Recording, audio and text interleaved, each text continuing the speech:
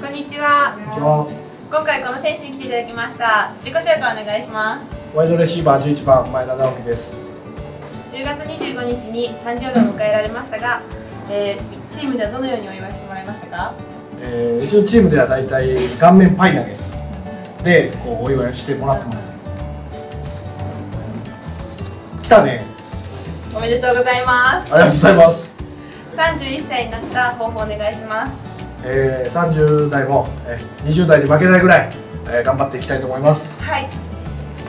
また来たね。頑張ってください。はい、最後に一言お願いします。えー、いつも応援ありがとうございます、えー、引き続き、あのー応援をよろしくお願いします。また10月はもう一人、あのー誕生日の選手がいるんですけども。はいそうですね。小林さん。はーい。自己紹介お願いします。はい。ディフェンスバック6番。はい。おめでとうございますはい、ありがとうございます。嬉しいです。感想はどうですか？感想、あ、すごく嬉しいです。27歳になりました。ありがとうございます。誕生日を迎えられたお二人です今シーズンも頑張ってくださいもう一人誕生日の方がいるのでお祝いしたいと思います